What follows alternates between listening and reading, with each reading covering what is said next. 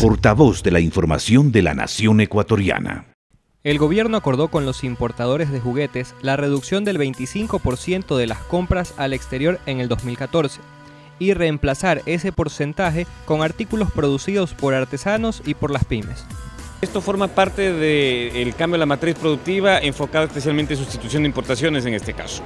Así que creo que vamos por muy buen camino. Las empresas, los empresarios saben que tienen todo el apoyo del gobierno nacional. Crédito productivo, lo que se requiera, estamos pues por ahí. Esto definitivamente va a generar muchas fuentes de, de empleo. Se aplican nuevas líneas de producción y por ende generación de empleo digno. Para encontrar a los mejores oferentes nacionales, las grandes cadenas que comercializan juguetes en el Ecuador organizaron una feria a la inversa, donde fueron invitados artesanos de todas las regiones del país para que muestren la calidad de sus juguetes y observar la posibilidad de producirlos a mayor escala.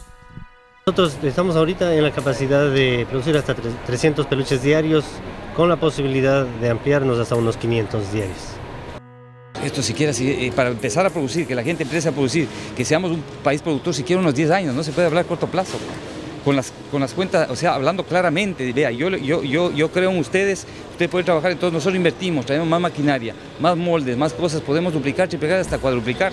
Con miedo a equivocarme, el número aproximado de crear bicicletas sería de 300 bicicletas diarias, a lo cual podría variar dependiendo de la demanda del mercado, podría aumentar como podría disminuir, eso, eso es algo que, que ya... La intención inicial es consolidar la preferencia de la producción nacional a través de la aplicación de normas de calidad INEN en la producción de los artículos.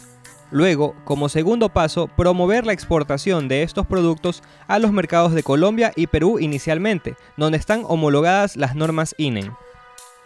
Los pequeños productores explicaron el proceso de elaboración, a la vez que aseguraban estar en la capacidad de duplicar hasta triplicar su capacidad de elaborar los juguetes para ser comercializados en las grandes cadenas nacionales desde esta Navidad.